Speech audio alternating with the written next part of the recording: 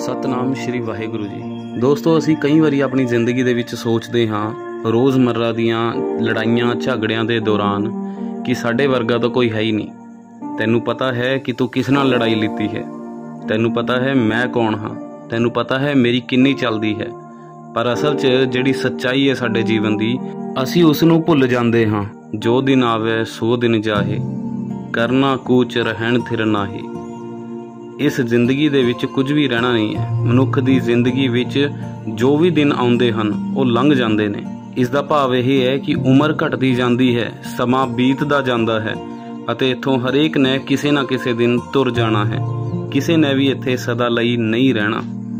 ਜਦੋਂ ਅਸੀਂ ਸਦਾ ਲਈ ਇੱਥੇ ਰਹਿਣਾ ਹੀ ਨਹੀਂ ਹੈ, ਤੇ ਫਿਰ ਘਮੰਡ ਕਿਸ ਗੱਲ ਦਾ? ਇਹ ਸ੍ਰਿਸ਼ਟੀ ਕਿੰਨੀ ਵੱਡੀ ਹੈ। ਉਸ ਸ੍ਰਿਸ਼ਟੀ ਦੇ ਵਿੱਚ ਕੋਈ ਇੱਕ ਧਰਤੀ ਹੈ। ਉਸ ਇੱਕ ਧਰਤੀ ਦੇ ਵਿੱਚ ਇੱਕ ਛੋਟਾ ਜਿਹਾ ਕੋਈ ਦੇਸ਼ ਹੈ। ਉਸ ਦੇਸ਼ ਦੇ ਵਿੱਚ ਇੱਕ ਛੋਟਾ ਜਿਹਾ ਕੋਈ ਰਾਜ ਹੈ। ਉਸ ਰਾਜ ਦੇ ਵਿੱਚ, ਉਸ ਰਾਜ ਦੇ ਵਿੱਚ ਇੱਕ ਕੋਈ ਛੋਟਾ ਜਿਹਾ ਸ਼ਹਿਰ ਹੈ। ਉਸ ਸ਼ਹਿਰ ਦੇ ਵਿੱਚ ਰਹਿਣ ਵਾਲਾ ਮੈਂ ਇੱਕ ਛੋਟਾ ਜਿਹਾ ਇਨਸਾਨ, ਇੱਡੀ ਵੱਡੀ ਸ੍ਰਿਸ਼ਟੀ ਰਚਣ ਵਾਲਾ ਪਰਮਾਤਮਾ। ਮੈਂ ਉਹਦੇ ਸਾਹਮਣੇ ਕੀ ਹਾਂ? ਕੁਝ ਵੀ ਨਹੀਂ। ਰੇਤ ਦੇ ਤਿਣਕੇ ਦੇ ਬਰਾਬਰ ਹਾਂ। ਤੇ ਮੈਂ ਕਹਿੰਦਾ ਹਾਂ ਕਿ ਮੇਰੇ ਵਰਗਾ ਤਾਂ ਕੋਈ ਹੈ ਹੀ ਨਹੀਂ ਇਸ ਦੁਨੀਆ ਤੇ। ਇਹੀ ਘਮੰਡ ਸਾਨੂੰ ਇੱਕ ਦਿਨ ਮਾਰ ਦਿੰਦਾ ਹੈ।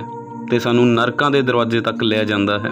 ਸਵਰਗਾਂ ਦੇ ਵਿੱਚ ਪਹੁੰਚਣ ਵਾਲਾ ਇਨਸਾਨ ਹਮੇਸ਼ਾ ਗੁਰਮੁਖੀ ਜੀਵਨ ਜਿੰਦਾ ਹੈ।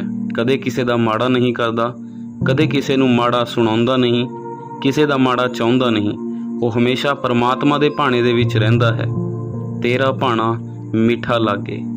ਵਾਹਿਗੁਰੂ ਜੀ ਕਾ ਖਾਲਸਾ, ਵਾਹਿਗੁਰੂ ਜੀ ਕੀ ਫਤਿਹ।